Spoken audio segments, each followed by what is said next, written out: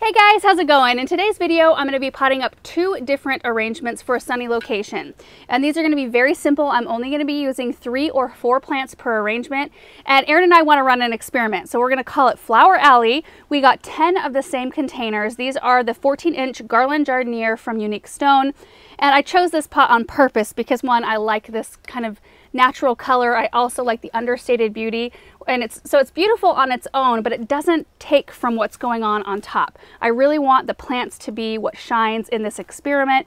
We're gonna set them all up on drip and it's just, it's gonna be fun just to show you guys progress through the season because some of these things I've grown before and I have experience and I will share what I know about those plants. Some I've never grown before and I'm gonna be pairing some things together that I never have.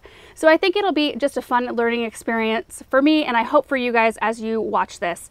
Um, now this is gonna be kind of more inspiration, I guess, for next year's plant choices because you won't be able to see, I mean, maybe you wanna follow along plant some of the same things this spring along with us and just see how it goes.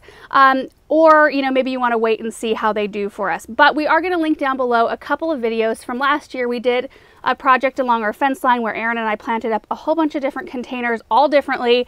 And we did a couple update videos of after we had initially planted them so if you want to check those out definitely a lot to learn from that experience or that experiment there. So anyway, those will be linked down below. So the first thing I have to do, uh, because this is not the end location where this is going to be staying, is I'm going to run drip to this pot. It won't be connected to anything right now, but at least it'll be in place. So what I do is this is just quarter inch black poly. I'm running a piece out the bottom, giving myself a generous amount here to work with. And then I'm going to cut it here. And then I've got a quarter inch straight coupler. Just looks like that. And I'm going to be putting that in the end of this drip tube here. And then this is how we've decided to run our drip this year. This is quarter inch poly again, but this has drip emitters every six inches that emit 0.65 gallons per hour. So what I want to do is I'm going to kind of see how much it takes to ring around this pot. About this, so that's one, two, three, four, five drip holes and I want to make sure every pot has the exact same amount of drip holes. So I'll just attach this right here to the coupler and then we're going to use a goof plug which looks very similar to the coupler but there's no way for the water to get out. We'll just put that right on the end. And so this is just going to dangle out the side or the back of the pot until we're all done planting and then I will kind of twist it around the plants and get it all set. So now I need to fill it up with soil.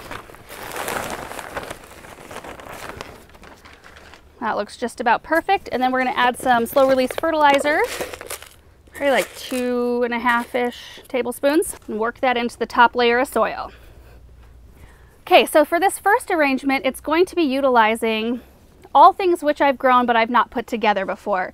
The first thing, this is actually going to become our thriller, so our biggest plant in this arrangement. This is called a Wicked Witch Coleus. It's part of the Color Blaze series so they can take sun or shade. I had a chance to grow these both in the landscape and in containers last year and they did fantastic in both locations.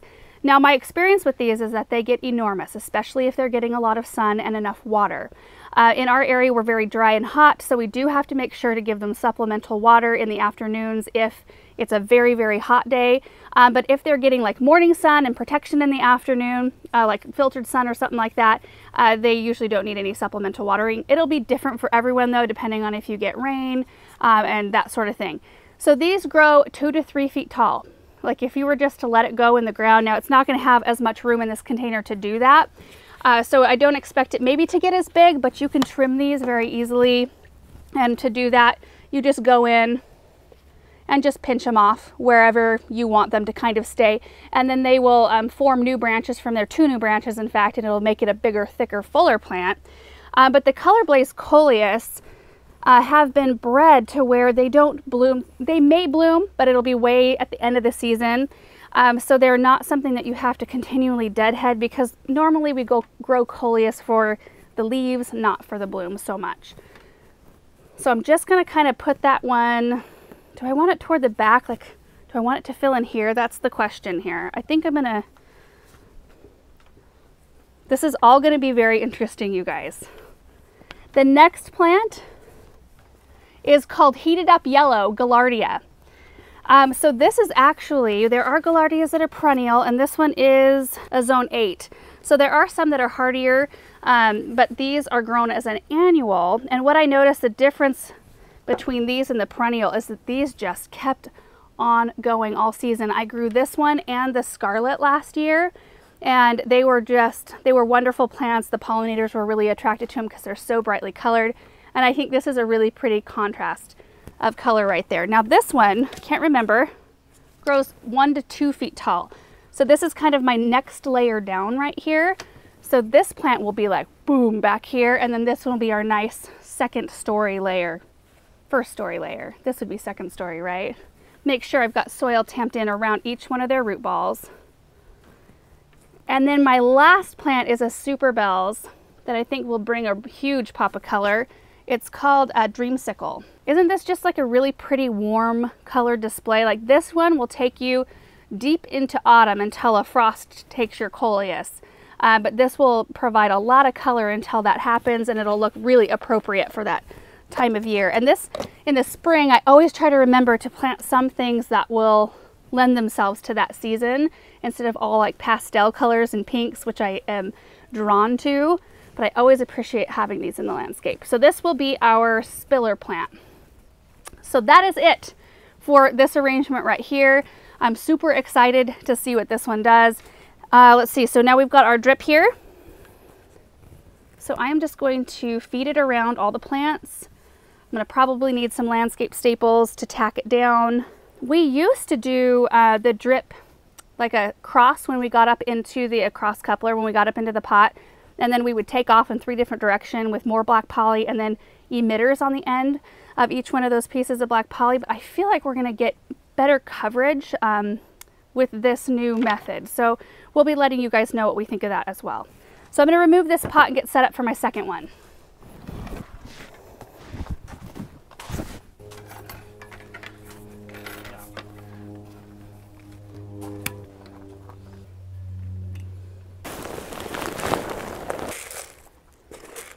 Got the drip run to this container already, filled it with soil, put my slow release fertilizer in it, so now it is ready for plants.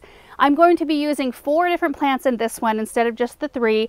And this one I am using some pinks, but it kind of looks a little bit more on the warm side of things, um, a little bit more tropical. And there's one plant in here I have never grown before. This one I have though. This is called the Truffula Pink Gomphrena. Now we planted this last year in our landscape and it was an absolute beast of a plant. So I honestly, like, it'll be interesting to see what it does in a container when it's competing for root space with other things because ours got enormous. I think the tag says that, yeah, they grow 22 to 28 inches tall, which mine grew at least that tall, and they were very big around. Um, they are very drought tolerant. They attracted pollinators like crazy. And I actually, because the flowers are so great to dry, I um, dried a bunch, made a wreath out of them, which I still have. Totally forgot to put out for Valentine's Day, which I had planned on doing. Um, but it still looks as good as the day that I put it together, uh, which is really fun to have plants that you can harvest blooms from and use like that. So this is most definitely going to be our centerpiece plant right here. And this one, I mean, honestly, like you could put just one of these in the center of a container and I think very quickly you would have one beautiful looking container, just kind of a mono with one type of plant. It would be really pretty. So there's a suggestion for you. This second plant is the one I've never grown before. So this is an Alternanthera. I don't even know if I'm saying that right, but it's called Plum Dandy. And this one grows 10 to 16 inches tall, so this will be our second layer down. And I just love the leaf structure. I think the undersides are as beautiful as the top. They're kind of like on the top, a greenish purple, like a dark green with purple, a purple hue, and then the stems are kind of a pinkish purple there. So I'm excited about this one. The first time I actually saw it or noticed it enough that it stood out to me was on Mackinac Island last year. I saw a container with dark red zinnias and this, and it was the most gorgeous thing. I think we even showed it in one of the tours. If we did, uh, we'll see if we can pop a picture up on the screen.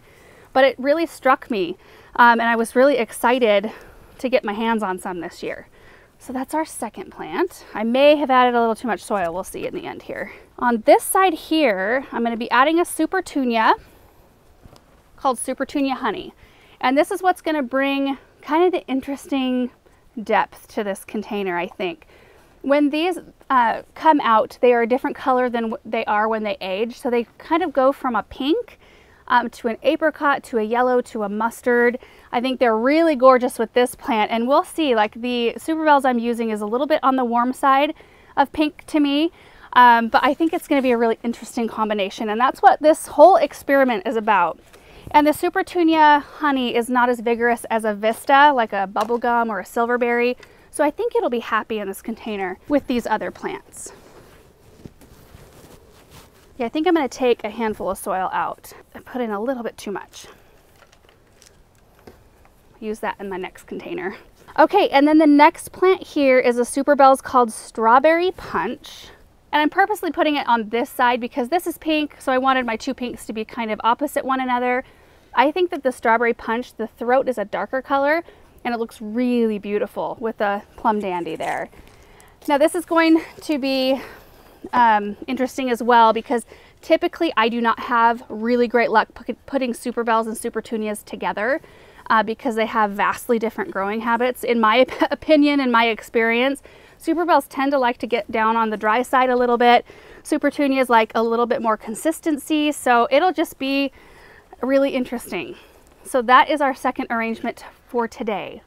So both of these won't look like, I mean, they're, they're beautiful. The plants are beautiful, but they won't look full and like lush for probably the next two or three weeks. They'll start to really fill in. We've got some consistently warm temperatures coming, so it'll be fun, really fun to show you guys updates. Um, so now I'm going to get my drip in place. I hope this type of drip works. I'm really excited about it because it's so much easier than messing with all those emitters. Three landscape staples, and it just tacks it right down into place. These containers will probably sit in the greenhouse for a day or two until we decide exactly where they're gonna go out in our garden. We've got a couple different ideas, but haven't landed on one exactly yet. And I do have eight more of these to plant up, which we will show you in videos just to talk through the plants and give you ideas hopefully for or inspiration on what to put together in containers. And then once we have them all set up outside, we'll give you kind of a full tour so you can see exactly what they all look like as a before shot and then we'll give you updates. We'll do update videos throughout the season and it'll be a very interesting experiment. I'm uh, expecting some successes and some fails and I hope it's just a really good learning process. I know it'll be a good learning process for all of us. So anyway, I hope that this video was helpful, just seeing maybe some more simple arrangements come together and we will have some more of them soon for you guys. So thanks so much for watching this video and we will see you in the next one. Bye.